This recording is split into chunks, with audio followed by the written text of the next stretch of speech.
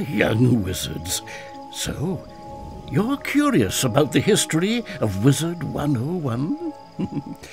well then, let's consult the eye of history, shall we?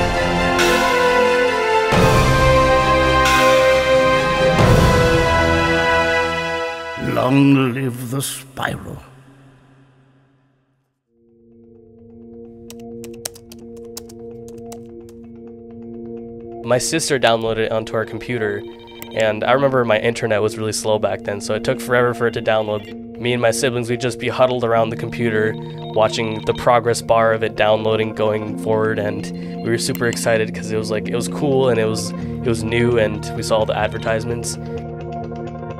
Around that time, there used to be a lot of um, TV advertisements. And I remember seeing those on TV and being like, wow, this looks really cool. I just really liked the, the spell animations. I thought as a kid it was it was really enjoyable. It was just something I'd never seen before at the time.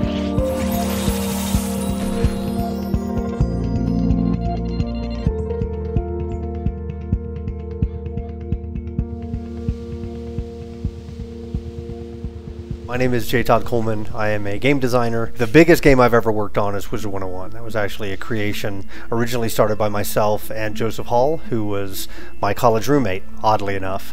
And Joseph and I have been making games basically since college. Um, our first game was a game called Shadowbane that we put out in, I want to say 2003 or something like that. Uh, and then we sold that company to Ubisoft, and then our next title was Wizard. So, interestingly enough, the connection uh, that Joseph and I made to Elie was not at all through games. So, Elie had made a decision that he wanted to get into games, I believe, because his son uh, was in, heavily into World of Warcraft. And because of our background with Reliant, our first company, we knew venture capitalist investors. And whenever they had anybody ask questions about the games industry, because we knew them and we were in the games industry now, they would basically connect us to them and say, hey, this person has a bunch of questions about the games industry. That's how I got connected to Elie was through a mutual friend who happened to be a venture capitalist. Um, he said, hey, I met this guy and he's interested in games. I know that you're trying to get another game started. You guys should meet. So I called him and Elie picked up and he said, Well, when are you going to be in Dallas next? And I said, Well, I'm probably going to come back in about three or four weeks, or I could be there in 20 minutes. And I have all my information here, like I had everything with me. And he said, Well, why don't you come and we'll have lunch and we'll talk about our plans. So um, Elie's plan uh, that he told me at that lunch was he wanted to create a very different type of game company. And he had been talking to a number of people, not just me, about what their pitch would be. And all of the pitches that he was hearing were very like first person shooter, heavy violence. And so, you know, he asked me, well, what kind of game are you pitching? And, and it was pretty funny because I, you know, I pull out my little sketch pad that has all these early pictures of wizards and flying pigs and things like that. And I'm like, well, this is the game that Joseph and I want to make. It's called Wizard 101. Very quickly after that, he said, um, I like you guys and I like your pitch. I want to say that was at an end of October, early November of like 2004 having just come off of Shadowbane and just sold a company to Ubisoft, um, it was not a giant win for us, right? It wasn't like retirement money, but it did give us a little bit of time to kind of lick our wounds and figure out what we're going to do next. And so we were spending a lot of our time, like literally watching television and stuff. And I remember um, watching uh, episodes of Yu Gi Oh! And thinking that the, the battle system that they did with the card game was really cool. And I was going back and rereading a bunch of old fantasy that I hadn't read in years. And so it was kind of a conglomeration of, you know, part Harry Potter. That was obviously part of it. I think Joseph actually brought a big chunk of that. Uh, part Narnia because that's that was my favorite um, uh, series growing up, and then a big chunk of it was this kind of Yu-Gi-Oh battle arena thing. And so we kind of mixed those things together and said, okay, well, what if we had a wizard school where the spells were actually these very cinematic things, kind of like Yu-Gi-Oh, and then the actual to make it very not Harry Potter, the actual universe itself is made up of talking animals. That was kind of the three elements that we pulled together initially, and once we started to kind of jam on it and pull it together, it just all worked. Like it all just kind of snapped together in a really nice way. You don't always get that in creative projects, right? A lot of times you're like, "Ooh, I think this and this will go together," and you try and crush them together, and they just don't work in the case of Wizard, all three of the things, you know, the, the talking animals, the spell cards, and the Wizard School, they just jived. They just worked really well. We were also playing a game called Toontown at the time. Toontown was really interesting. It was um, it was effectively the first time I'd seen somebody take the WoW style MMO and adapt it to a family friendly environment, and then they also had turn based combat, which was really fascinating, right? So that was a when we actually saw that working, that combined with this Yu-Gi-Oh idea uh, or Pokemon idea of being able to summon things, that was really really compelling to us. And when we first started, we were actually sort of you know modeling things out physically. We had physical cards uh, that you know uh, some of our artists and Todd had drawn these silly pictures on them. Basically, I drew whatever. I can't draw at all, so I would draw like a chicken or like a snowman or whatever. That's why we have like evil snowman. Why was it there a card called Evil Snowman? Because I can draw a snowman. Snowman's just three circles. Like a lot of our early stuff, you know, the, the, the sunbird, it pretty much looked like a chicken, which is why it looks a little chicken-like in the game now.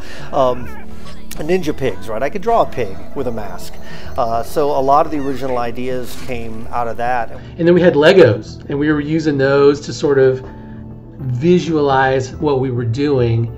And we were in this tiny little office, and we were just sort of researching, you know, software engines. I mean, we knew we were making an MMO, so it had to be able to hold the weight of a lot of people the uh, the other thing that we needed to make sure is that the game would run on very low end systems. Uh, since we knew we were targeting a younger audience, you know, kids sort of would get the hand me down computers.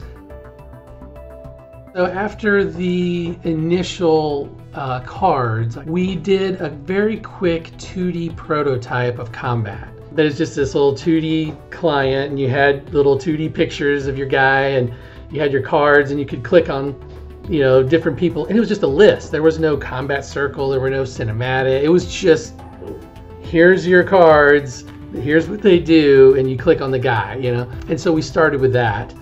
And once we started realizing oh this is a problem or this was cool and this is fun we you know we had a vision that sort of proved it out a little bit about what would work and what wouldn't. Then we started planning more broadly you know and from there we tried to visualize our cinematic combat. Everything was focused on that. You know basic mmo stuff had been done before so we didn't need to reinvent the wheel you know quests are quests and you know you move from a to b or whatever. That, that stuff's been done. But this cinematic combat was different. I remember making these huge flow charts that took up huge sections of the wall when you printed them out. And we'd tape them up and we'd follow it was all these flow charts about different phases and what would happen and when you did this and how long it was So the Wizard 101 team compared to a normal MMO team was absolutely tiny. I mean, for the majority of development, we were under 30 people. I want to say about 25 people. So it led to, because we were such a small, kind of scrappy team, it led to some really interesting things that you can see. Like in Wizard, every piece of art was reused multiple times. Like we would not let any piece of art go to waste. So we would create a creature like, okay, here's a gobbler. All right, we're going to shrink him down. We're going to make a pet gobbler. We're going to also make a mount version of a gobbler. We're going to use them in the environment. They're going to be sitting on the buildings. They're going to be eating stuff. We're going to take the concept art. We're going to actually use it as posters that you can hang in your house. We're going to take little doodle versions of them, put them in the UI. Like every piece of the buffalo must be used. We didn't have the kind of money of a World of Warcraft, right? So we had to we had to be judicious on how we did everything we did. Todd had a very clear idea about what he wanted, and I thought that was very was really interesting, especially like it had some sort of real world cultural, uh, not just inspiration, but you know, so like in Krokotopia, those buildings are real buildings, you know, real structures, and so I always thought it was interesting that you know the kids might see these buildings in Wizard and then see them later in school or something, and remember that's where they saw it first was was in Wizard when we first started working on uh, the idea for the various worlds, right? We had Wizard City and we had Dragonspyre were the very first two worlds that we actually mapped out. So we had the bookends of the initial story, and then we filled in the the in between gaps, right? And I I'm not even sure I can remember where Krokotopia necessarily came from, other than my love of Indiana Jones. Marleybone was very clearly um, a combination of Sherlock Holmes, which my mother read to me when I was a kid, and uh, Muppet Christmas Carol, because the Muppet Christmas Carol is just awesome. It's just so hilarious. I just I love the the inter the juxtaposition of animals wearing those particular period costumes that just made it really, really hilarious. And then MooShu was really a lark. I think that uh, MooShu was probably a combination of different elements, um, uh, Monkey King being one, uh, maybe some Avatar influence in there as well. But that was the original set, right? That was the original five worlds. And really, we, we had some ideas beyond that, but we didn't flesh them out a whole lot. It was more just, all right, what do we, you know, we need to get these five done. And then James Nance, actually, the lead designer, pitched uh, Grizzleheim as a kind of a side world. And so that was the first time that we went kind of off with an offshoot that was not purely linear in the experience, where you could choose to do it or not. There was concerns about the uh, combat pacing that were brought up in, in Alpha. Wizard was based off of traditional card games, but since you were limited to one card play per turn, it was difficult to get combos going without stealing your overall uh, ramp in power. And so the big change was adding zero pip spells and then creating these sort of hanging effects that you could trigger off of. And then what that meant is that each round the player had more compelling choices and decisions to make from round to round than what they had before.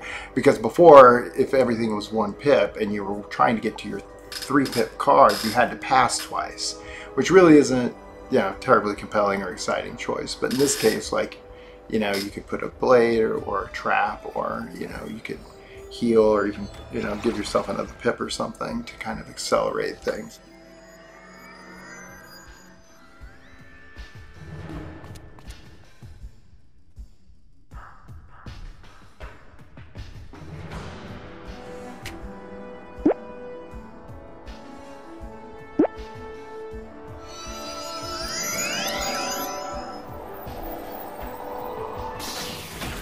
When we first started, the very first tutorial, no Malistaire. Like he wasn't there. Now we knew Malistaire was the guy. We had this secret dark stranger is what we called it, right? We had the outline of him in the little dialogue panels, but you never saw him. People wouldn't speak of him, you know. It was this thing. Um, and people couldn't they didn't we eventually revealed him i believe in marleybone that's when you first saw Malistaire. like you would you were chasing somebody the stranger and then you saw who it was oh Malistaire. and people were like who's Malistaire? like they didn't know who it was right and so we're like man we've got this really cool bad guy but people don't know who it is and they were getting confused and the tutorial wasn't doing as well so we just said all right, forget this. Let's just start over, redo the tutorial, and put him right in the middle of it, give you these really cool spells, and you fight Malistaire right at the beginning. You know, it's like Star Wars when Darth Vader walks out immediately, right? Like, oh, there's the bad guy, you know? Like they show you the bad guy. Like, let's do that, you know? And so we redid everything, and, you know, Ambrose is there. He's like, oh no, Malistaire. And so now from the very beginning, we knew who he was and we knew that's who we were chasing and the players were already engaged and involved with what was going on and everything just worked a thousand times better you know? People like oh no bad guy let's get him. And the story just flew at that point. It just made way more sense. Beta was uh, super exciting. You know it's nerve wracking too Uh, you spend all this time working, and especially right at the end when you're making an MMO, that last those last few months are the absolute hardest. You know, the 80-20 rule, right? So 80% of the work happens in the last 20% of the of the project, right? So we were playing the game constantly and getting feedback and you know making tweaks here and there, just things you know we found problems ourselves and we're just trying to fix them. You know, then you're going to let people in and you get a little nervous, right? We were a small company, it was a small project. The bar was pretty low compared to, you know, like the big MMOs out there. One of the great things was being a self published company. We didn't have that external pressure from a publisher that we had to meet X date or get X things done which was a burden of responsibility, but it was also a little bit of freedom for us to be able to say, okay, we want to launch this game and we want it to be this way, and it's going to come out when it's ready. So, uh, September 2nd, 2008 was when it was ready. And when we actually launched, um, it wasn't a traditional MMO launch where it's like, oh my god, immediately it's this giant success. It was actually kind of slow at the beginning. Is we kind of earned our way into it. Like the game came out, and it didn't get like millions of people because it was kind of weird, uh, but it got a following, and that following stuck around. And then the next month there were more people that came in, and then they stuck around, and it just kind of built and built. And I think it was about a year later when we hit a million registered players. There was some big milestone like that.